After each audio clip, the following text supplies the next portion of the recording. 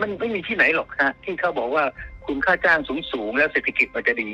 ให้ค่าจ้างมันสูงก่อนแล้วเศรษฐกิจมันตามมาใช่ไหมถ้ามันคิดได้ง่าย ๆ อย่างเงี้ยที่ไหนมันก็ทำกันสิเราเห็นการลงย้ายฐานการลงทุนครั้งใหญ่ อุตสาหกรรมบางส่วนที่ย้ายไม่ได้ และคุณมีก็ต้องเอาเครื่องจักรเข้ามาใช้นะเทคโนโลยีเข้ามาใช้ แต่ส่วนหนึ่งแล้วก็น่าจะอาจจะเป็นส่วนใหญ่ที่ปรับตัวไม่ได้ ไม่มีทุนย้ายก็ไม่ได้ปรับเครื่องจักรก็ไม่ได้ คุณก็ต้องปิดตัวไป นะแล้วก็ลองหลับตานึกภาพแรงงานเราสิ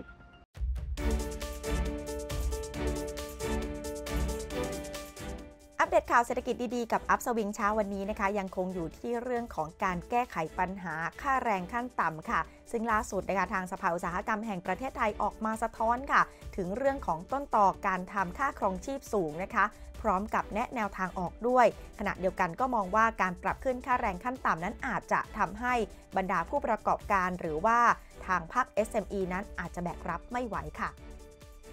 เสียงสะท้อนนี้นะคะออกมาจากคุณอิสเรศรัตนดิลกณภูเก็ตค่ะ รองประธานสภาอุตสาหกรรมแห่งประเทศไทยนะคะ ท่านบอกว่าตัวเองเนี่ยได้วิเคราะห์ถึงการปรับขึ้นค่าแรงขั้นต่ำ ว่าเป็นคำตอบของการแก้ปัญหาค่าครองชีพของแรงงานจริงหรือนะคะ โดยส่วนตัวมองว่าสาเหตุหลักที่เป็นต้นทุนแฝงนั้นอยู่ในค่าครองชีพของประชาชนคนไทย ก็อย่างเช่น ค่าไฟฟ้า ค่าอาหาร ค่าเดินทาง ค่า Wi-Fi รวมทั้งค่าสาธารณูปโภคอื่น ๆ ของบ้านเราค่ะ ถ้าลองวิเคราะห์ให้ถี่ถ้วนแล้วก็จะพบว่า ค่าครองชีพของคนไทยที่สูงกว่าเพื่อนบ้าน ล้วนมีสาเหตุมาจากข้อที่ 1 ก็คือกลไกผูกขาด และภาครัฐถูกครอบงำ โดยทุนใหญ่ผูกขาด ในระดับนโยบาย ระดับ regulator และระดับโอเปอเรเตอร์ระบบสัมปทานนะคะ นั่นคือบ่อเกิดแห่งความไม่เป็นธรรมค่ะ การขาดกลไกตลาดเสรี คือราคาสาธารณูปโภคที่คนไทยต้องจ่ายแพงเมื่อเทียบกับเพื่อนบ้าน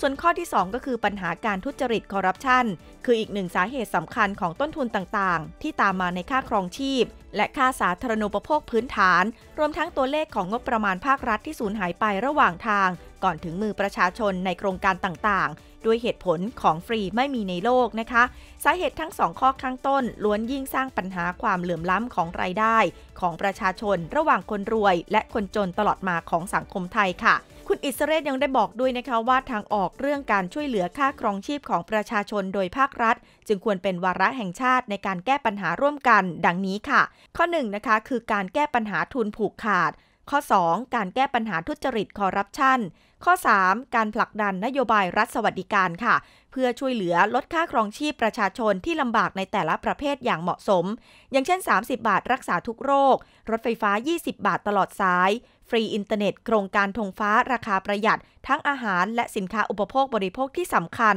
แล้วนี่คือสิ่งที่ภาครัฐควรผลักดันอย่างเป็นระบบและทั่วถึงค่ะ และถ้าหากว่าทำทั้ง 3 ข้อแล้ว ค่าครองชีพของประชาชนและแรงงานก็จะลดลง นโยบายค่าแรงขั้นต่ำก็จะไม่เป็นเครื่องมือในการหาเสียงของพรรคการเมือง อย่างที่เป็นมาในอดีตนะคะ ซึ่งก็มีแต่จะทำลายเศรษฐกิจ โดยเฉพาะ SME ค่ะ โดยการล้มหายตายจากและเลิกกิจการ หรือการลดจำนวนแรงงานเพื่อลดภาระต้นทุนค่าแรง อย่างที่หลายภาคส่วนเป็นกังวลค่ะทีนี้ก็ยังไม่รวมเรื่องของเงินไหลออกนอกประเทศจากแรงงานต่างด้าว ที่ได้รับอานิสงค่าแรงขั้นต่ำของประเทศไทย โดยส่วนตัวคุณอิสเรศมองว่าภาคธุรกิจยินดีให้ความร่วมมือในการจ่ายค่าแรง ด้วยนโยบาย Pay by Skill และตาม productivity นั่นหมายถึงภารกิจในการ up skill แล้วก็ re skill นะคะ ควรเป็นเรื่องที่เร่งด่วนนะคะที่ภาครัฐและเอกชนควรทำร่วมกัน เพื่อให้แรงงานของเรามีคุณภาพ ตอบโจทย์ธุรกิจ และได้รับค่าแรงที่เหมาะสมและเป็นธรรม อีกทั้งขีดความสามารถในการแข่งขันของประเทศไทย ก็จะดีขึ้นตามลำดับค่ะ นั่นก็เป็นมุมมองแล้วก็ข้อคิดเห็นนะคะของคุณอิสเรศ รัตนดิลกณภูเก็ต รองประธานสภาอุตสาหกรรมแห่งประเทศไทย ที่สะท้อนออกมาผ่านบทความนะคะ ซึ่งความคิดเห็นของคุณอิสเรศนะคะ ก็สอดคล้องกับความเห็นของดร.ธนิตโสรัตน์รองประธานสภาองค์การนายจ้าง ผู้ประกอบการค้าและอุตสาหกรรมไทยหรือว่า EconThai นะคะ ที่มองในเรื่องของการปรับขึ้นค่าแรงขั้นต่ำนะคะ ไม่อยากจะให้เอาเรื่องนี้เนี่ยมาใช้เป็นนโยบายหาเสียง เพราะอาจจะส่งผลกระทบกับเศรษฐกิจในภาพรวมนะคะ รวมไปถึงขีดความสามารถทางการแข่งขันของประเทศด้วย เดี๋ยวเราไปฟังมุมมองนะคะ จากการพูดคุยกับดรธนิตโสรัตในบางช่วงบางตอนกันค่ะ นโยบายพวกนี้เราเราต้องมันมีความซับซ้อนเนี่ยค่าจ้างเนี่ยมันเป็นต้นทุนของประเทศนะ เราเป็นเมืองส่งออก เป็นเมืองเกษตรเนี่ย แล้วก็เออนายจ้างเนี่ย ส่วนใหญ่ไม่แข็งแรงเป็นเอสมีแปดแสนห้าหมื่นคนเนี่ยได้แปดแสนห้าหมื่นกิจการเนี่ย มันเป็นเอสมีและ95เปอร์เซ็นต์นะ90ถึง95เปอร์เซ็นต์ค่ะนะครับ เอาชัดๆว่าครัถ้าบเกิดว่า ทุกอย่างเนี่ยมันไปทางนโยบายของรัฐบาล ซึ่งทางพรรคก้าวไกลเองเขาก็ต้องพยายามผลักดันให้เกิดขึ้นได้ฝั่งนายจ้างเราจ่ายไหวไหมคะไหวไม่ไหวมันก็ต้องจ่าย ทีนี้เราต้องดูเหตุการณ์คล้ายๆเมื่อตอนปีพศ 2556ค่ะที่เขาปรับ 300 บาททั่วประเทศนะผมอยู่ในเหตุการณ์เพราะว่าเป็นเป็นคนคนเจรจาด้วยไปพบกับดนตรีแรงงานอะไรด้วยเนี่ย ก่อนหน้านั้นประเทศไทยเป็นแชมป์ส่งออกของภูมิภาคเวียดนามนี่ห่างไกลแล้วมากเราเป็นเมืองการเม้นระดับโลก เป็นเมืองผลิตรองเท้าระดับโลกรองเท้ากีฬาใช่ไหมค่ะเราเป็นเมืองผลิตอาหารอ่าปลากระป๋องระดับติดอันดับโลก วันนี้เนี่ยอุตสาหกรรมพวกนี้ย้ายฐานไปเวียดนามหมดละแล้วส่วนหนึ่งไปกัมพูชา เราจึงส่งออกของเราเนี่ยสิบปีผ่านมาเนี่ย เราเวียดนามเนี่ยแซงไทยไปหลายขุมเราเคยเป็นประเทศที่การลงทุนเป็นระดับต้นๆของภูมิภาคตอนนี้เนี่ยเวียดนามโตกว่าเราไปสองเท่าแล้วค่ะหมายความว่าการลงทุนมันไม่ได้ไหลมาเมืองไทย แล้วก็ล่าสุดเนี่ย ที่เขาบอกว่าการลงทุนจากจีนที่ไหลเข้ามาเนี่ยมีแต่ญี่ปุ่นนะที่ยังยังมาลงทุนเมืองไทย แต่ว่าประเทศไต้หวันอะไรมันข้ามหัวเราไปหมดแล้วเห็นไหมฮะเพราะญี่ปุ่นเขามีฐานอยู่แล้วเขาก็มามาลงทุนในอุตสาหกรรมที่ใช้คนน้อยๆ แต่ว่ามันมันมันข้ามหัวเราไปหมดอะไปมาเลเซียอย่างเงี้ยนะซึ่งไม่น่าเชื่อเลย แทนที่จะลงไทยกลับไปลงมาเลเซียค่ะเพื่อนบอกว่าเราไม่ได้เป้าหมายการลงทุนนะอันนี้อันนี้คือผลกระทบเมื่อสิบปีที่แล้วตอนสามร้อยบาทค่ะรอบนี้จะคล้ายๆกัน แต่เราไม่รู้ว่าจะกระทบอะไรบ้าง ผมเห็นภาพพวกนี้รวมทั้งเพื่อนผมที่ไปลงทุนด้วยค่ะนะครับ เราจะเห็นการลงย้ายฐานการลงทุนครั้งใหญ่อืมนะค่ะอุตสาหกรรมบางส่วนที่ย้ายไม่ได้ และคุณมีก็ต้องเอาเครื่องจักรเข้ามาใช้ค่ะนะเทคโนโลยีเข้ามาใช้ แต่ส่วนหนึ่งแล้วก็น่าจะอาจจะเป็นส่วนใหญ่ที่ปรับตัวไม่ได้ ไม่มีทุนย้ายก็ไม่ได้ปรับเครื่องจักรก็ไม่ได้ คุณก็ต้องปิดตัวไป ค่ะ นะแล้วก็ลองหลับตานึกภาพแรงงานเราสิอย่าไปล้อเล่นนะ เพราะว่าไอ้ภาพการแรงงานตกงานมากๆเนี่ยมันเกิดที่อเมริกาคุณเห็นไหมค่ะเกิดขึ้นในยุโรปนี่ขนาดนี้ยนะเกิดขึ้นในยุโรปไม่แต่ญี่ปุ่น แต่แน่นอนนะไอ้ระดับข้างล่างเนี่ยขาดนะได้บอกไหมฮะไอ้พวกคนแบกของก่อสร้างเนี่ย ยังไงมันขาดอยู่แล้วนะเราพูดถึงไอ้พวก ทำงานในสำนักงานทำอะไรต่าง ๆ เนี่ยไม่มีคนเนี่ยเพราะว่าแหล่งจ้างงานมันหายไป มันไม่มีที่ไหนหรอกฮะที่เขาบอกว่าคุณค่าจ้างสูงสูงๆแล้วเศรษฐกิจมันจะดีให้ค่าจ้างมันสูงก่อนแล้วเศรษฐกิจมันตามมาใช่ไหมถ้ามันคิดได้ง่าย ๆ อย่างเงี้ยที่ไหนมันก็ทำกันแต่สิทำไมทำไมผมพูดบอกว่าคนไทยฉลาดคนเดียวเหรอทำไมอินโดนีเซีย เวียดนามกัมพูชา แอฟริกาก็ไม่ขึ้นค่าจ้างสูงๆแล้วเดี๋ยวเศรษฐกิจมันดีเองอะคนคือคำถามว่า คุณขึ้นค่าจ้างสูงๆแล้วใครเป็นคนซื้อของคุณน่ะหนึ่งใครเป็นคนซื้อของคุณแล้วคุณผลักต้นทุนได้ไหมเอ๊ะบ้านเรามันส่งออก มันก็แข่งกันราคาของคุณสูงกว่าก็ไปอีกประเทศหนึ่งนะฮะและคนจ่ายมันเป็นนายจ้างอะมันไม่ใช่รัฐบาลนะผมผมมองว่ามันควรจะปรับ แต่มันควรจะปรับแบบไหน pay by skill เออแล้วก็มีการเทียบอะไรนะ ไปไปสอบไปเทียบสอบทักษะเทียบนะอืมเอ่อหรือให้อะไรนะฮะให้ให้ไตรภาคีเขาเอ่อการพิจารณากัน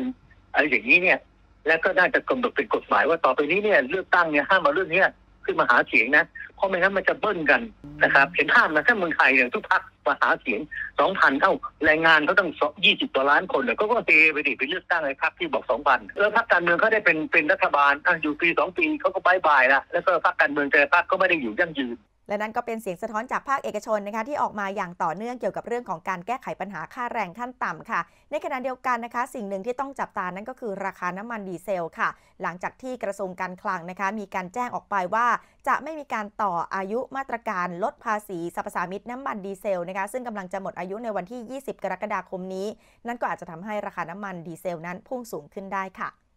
ซึ่งก็มีรายงานข่าวจากทางกระทรวงพลังงานนะคะ ออกมาระบุว่า กระทรวงการคลังค่ะได้แจ้งความคืบหน้ามาตรการลดภาษีน้ำมันดีเซลลิตรละ 5 บาท ที่กำลังจะครบกำหนดในวันที่ 20 กรกฎาคมนี้ค่ะ โดยบอกว่าจะไม่ขยายเวลามาตรการดังกล่าวแล้ว เพราะว่าต้องรอรัฐบาลชุดใหม่เข้ามาตัดสินใจ เนื่องจากมีผลกระทบกับงบประมาณการจัดเก็บภาษีของกรมสรรพสามิตที่จะต้องหายไปด้วยค่ะทางนี้สำนักงานกองทุนน้ำมันเชื้อเพลิงค่ะ ได้ดำเนินการกู้เงินเพื่อเสริมสภาพคล่องกองทุนน้ำมันรวม 2 ก้อนแล้ว 50,000 ล้านบาทนะคะ จากสำนักงานบริหารหนี้สาธารณะ และได้บรรจุวงเงินหนี้สาธารณะไปแล้วรวม 1 1 0 0 0 0 ล้านบาท แบ่งเป็นกู้รอบแรก 30,000 ล้านบาทนะคะ ตั้งแต่ปลายปี